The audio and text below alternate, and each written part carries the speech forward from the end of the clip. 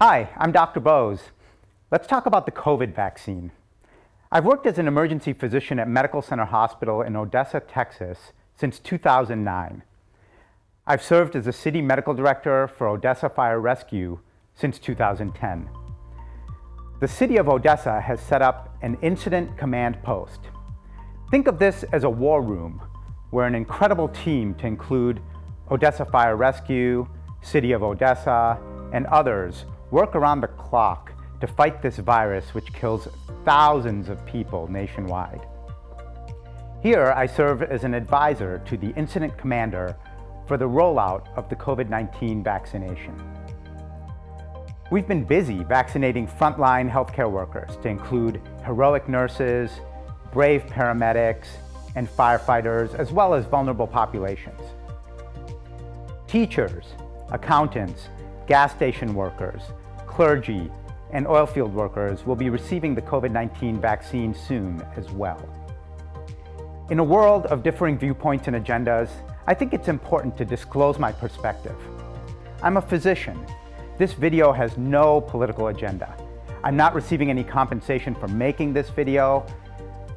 I serve in the medical director role for Odessa on a voluntary basis. I'm not compensated by the city of Odessa nor am I compensated by any media outlet or any pharmaceutical company. This is important because I'm speaking through the lens of helping care for COVID patients in Odessa. Thankfully, taking a vaccine is a personal choice.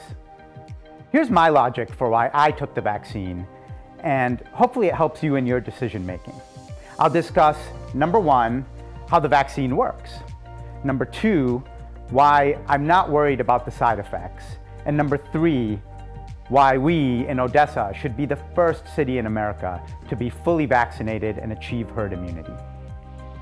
Number one, let's talk about how the vaccine works. You've seen what the virus looks like. It's like a tennis ball with spikes coming out of it. The vaccine is aimed at those spikes. The vaccine introduces your body to the spike proteins so that your immune system can create antibodies, which are like soldiers against those spike proteins, to protect yourself. That way, if the real virus enters your body, your antibodies are ready and recognize the spike proteins and fight. This vaccine is not a live coronavirus being put in your body. Let me repeat, it's not a live virus. It's not even the spike protein being put in your body. This is safe. The vaccine is the mRNA coding for the spike protein being placed in a fatty particle. Your cells absorb that particle, and then your own cell's machinery makes the spike protein for a fixed amount of time. Then your body's immune system makes those soldier antibodies against the spike proteins. Think of the mRNA vaccine like a copy machine that has the code for the spike protein so that your body can create it and then create antibodies to it. The research behind this vaccine has been going on for decades, allowing today's scientists to respond very rapidly. Funding by multiple governments also helps speed up the process. We are so lucky that we live in an era, in this moment in history, when people can get the genetic code for the spike protein quickly to the scientists so they can work around the world, around the clock, to bring the vaccine to us with record speed. I want you to know that no shortcuts were taken. Available today are two vaccines, Moderna and Pfizer-BioNTech. For both vaccines, you will need two shots.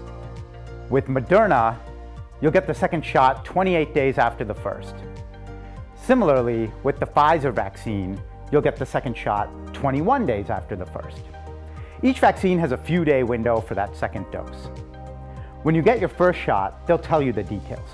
Both vaccines work very similarly. People ask, which one is better? Both are extremely effective. People also ask, if I get Moderna for my first shot, should I get Moderna for my second shot also? Yes, you should get the same shot.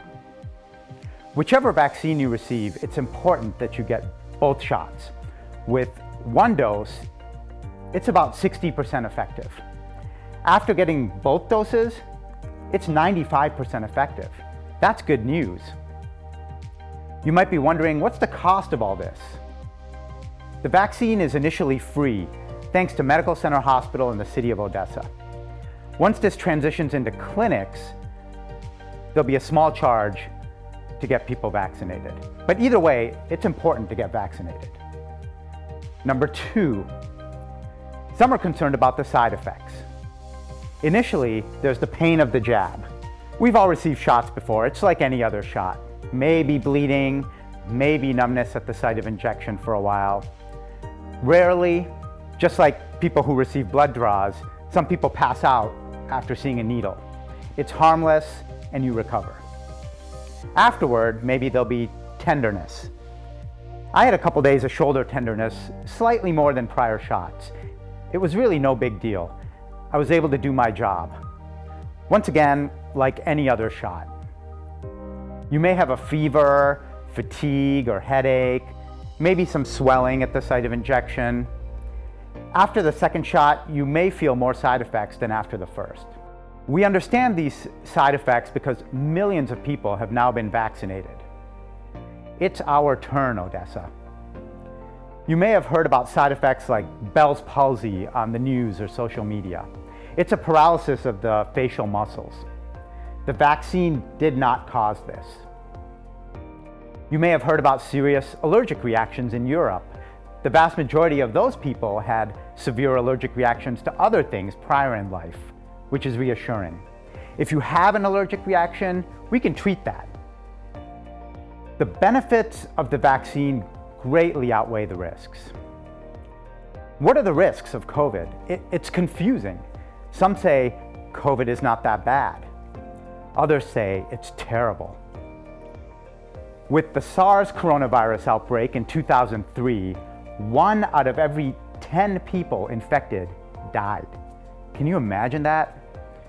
With the 1918 flu, one out of every 40 infected people died. That flu was really bad for 20 to 40 year olds, leaving children without parents. Devastating. With COVID 19, we will know when we're done, but it seems like one out of every 200 people infected die. In that way, it seems not that bad. Except it is, because it spreads easier than other viruses.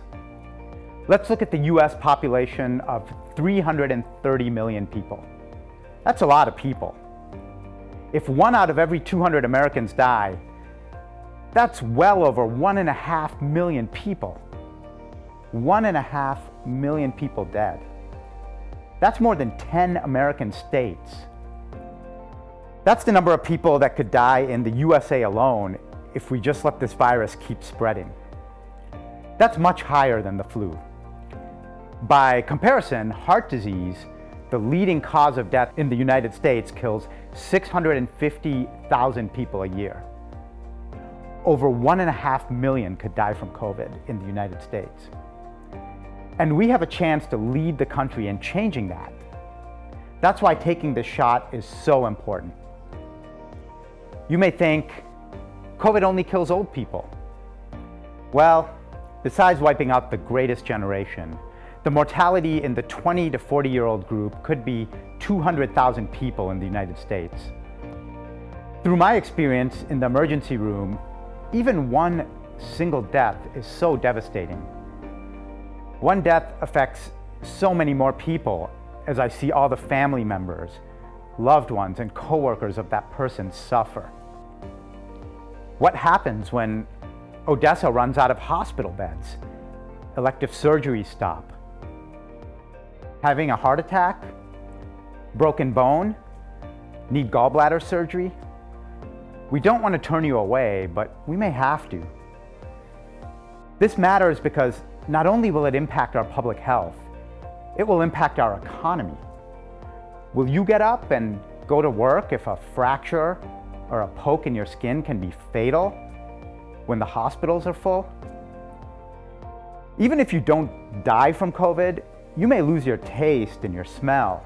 You might end up needing oxygen, having chronic fatigue, permanent muscle weakness, scarred lungs, or blood clots causing strokes and heart attacks. You may not see it, but we see it in the emergency room daily. A few minor side effects of this vaccine are probably good. It means the immune system is revving up. It's so much better than getting COVID. We can beat this, Odessa. We will win this war against COVID. Don't let your guard down. Number three, Odessa can be the first city in America to vaccinate and achieve herd immunity. The reason you and I don't get measles when we walk into a room is because nobody in that room has measles. The herd is immune. Similarly, we can achieve herd immunity for COVID-19. We as a society, as a world, are in a position that we have to take this vaccine to get past this pandemic. This is why I took it, and we all should. Here in Odessa, we were the first to start 911 system for emergency phone calls. We were the first to use the Jaws of Life. That's the tool to remove trapped patients from their cars after car accidents. The American Heart Association recognized Odessa for having the fastest response times for heart attacks in the United States. This excellence is because of our citizens, the people of Odessa, because of you and your leadership. We can lead America with this vaccine.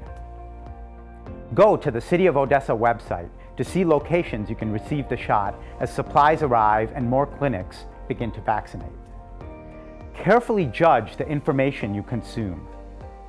If not anything, we should make a West Texas effort to be nice to each other. It leads to a nicer neighbor, a nicer city, state, and nation. Let's start by rolling up our sleeve and taking this vaccine for our family, our loved ones, our community. Let's fight this together. And when I say together, I mean with the mask six feet apart.